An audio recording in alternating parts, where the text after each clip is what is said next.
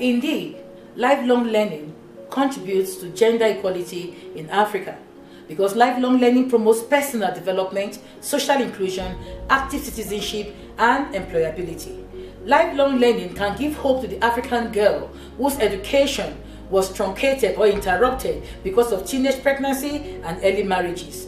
Therefore, it generates greater equity for women, allowing greater female participation in the workplace and a better quality of childcare.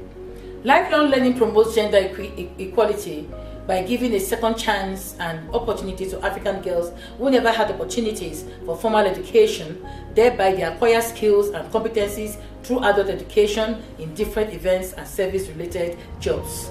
Moreover, the marginalized and disadvantaged girls have more learning opportunities and they exude confidence. They are able to study at their own pace and gain useful qualifications. So lifelong learning therefore bridges the economic gender gap and empowers the woman to defend and fend for herself.